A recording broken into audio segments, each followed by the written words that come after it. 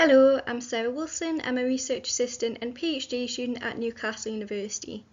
And today I'm going to take you through a bit of work that we've done exploring the key considerations for the design, development and implementation of digital technologies for the early detection of dementia-causing diseases. And this is on behalf of the co-authors, Claire Tolley, Riona McArdle, Emily Beswick and Sarah Slight. Dementia-causing diseases, such as Alzheimer's disease, start to develop in the brain up to two decades before symptoms start to show. But the tests that are currently used to detect and diagnose dementia-causing diseases only assess the severity of dementia symptoms. And dementia symptoms can be quite severe and come with a hefty price tag for healthcare systems, as it's been estimated to cost the UK £94.1 billion by 2040 due to the mountain of health and social care costs that come with caring for someone with dementia. But recently, there's been a lot of interest in the role of wearable technologies to try and detect dementia causing diseases much earlier than currently possible. And if this approach is successful, it'll provide us with the opportunity to implement interventions such as lifestyle changes or the latest medication a lot earlier than currently possible to try and slow down the progression of dementia-causing diseases and hopefully reduce the severity of dementia symptoms. And healthcare professionals will be one key end user of this kind of technology, as they'll have to set up the technology every day with healthcare users. They'll have to know how to interpret the result from the technology and also disseminate the result back to the healthcare user.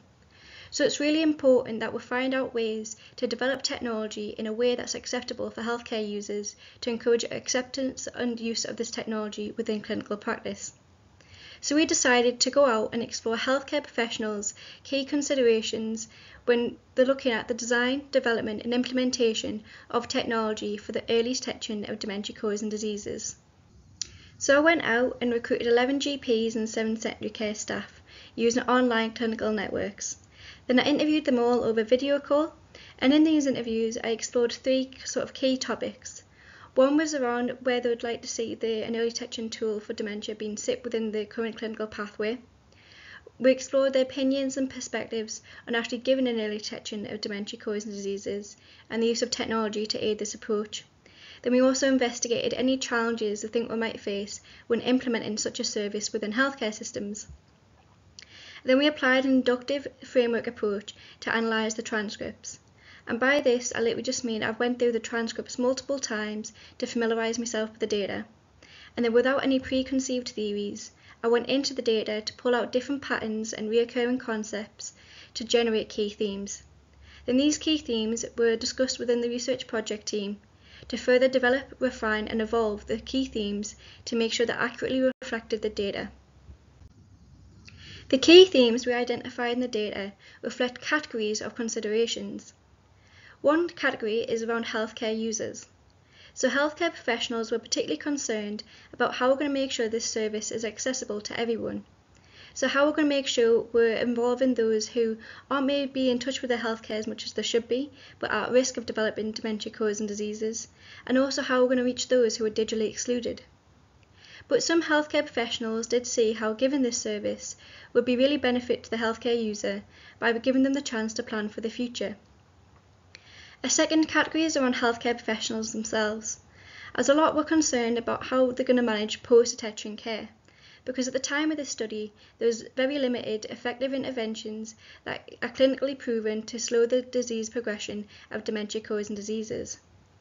And also healthcare professionals were concerned that having this extra service within the system would overwhelm both primary or secondary care no matter where you put it. So the most acceptable setting was brain health clinics, which are a combination between research and clinical settings. And the last category is around the technology itself. So a lot of healthcare professionals were really excited about the possibility of longitudinal remote monitoring but some of them were concerned about the sensitivity and specificity of the technology that's available at the moment and whether it be accurate enough to measure the modalities that it's designed to when compared to paper-based tests that are currently used. So to summarise this work, the three take-home messages is that we need to develop and design and implement digital technology in a way that's accessible to all healthcare users. We also need to provide support to healthcare professionals on how to provide post-detection care and also provide them with evidence that shows the sensitivity, specificity, and validity of the technology to improve trust.